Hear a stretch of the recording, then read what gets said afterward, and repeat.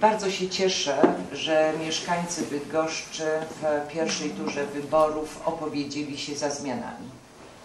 Właściwie wszystkie komitety wyborcze mówiły, że czas na zmiany w Bydgoszczy, coś trzeba zmienić. Jedni artykułowali wiele ważnych problemów, inni mniej istotne, ale chodziło o to, że zmiany.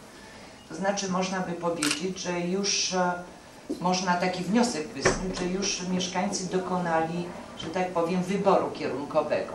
Chcą, żeby Bydgoszczą rządził inny e, prezydent.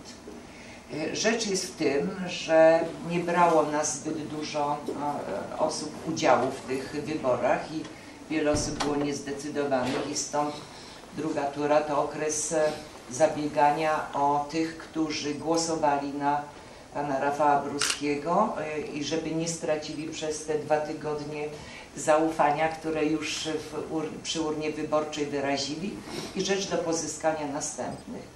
Ja chcę powiedzieć tak, że w kampanii wyborczej można wiele programów przedstawiać.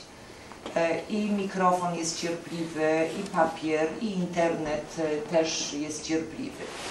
Natomiast rzecz w tym, żeby budzić takie zaufanie, że to, co się mówi, będzie się chciało realizować.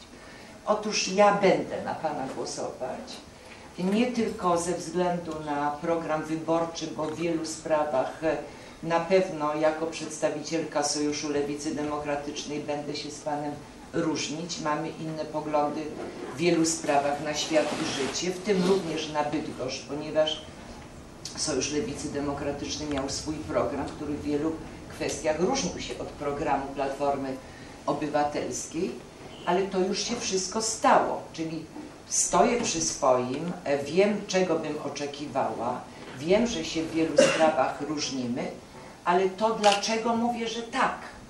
Dlatego, że mam nadzieję, że jeśli Pan zostanie prezydentem, to będzie Pan łaskawy wysłuchiwać argumentów tych ludzi, którzy w niektórych sprawach będą mieć inne zdanie.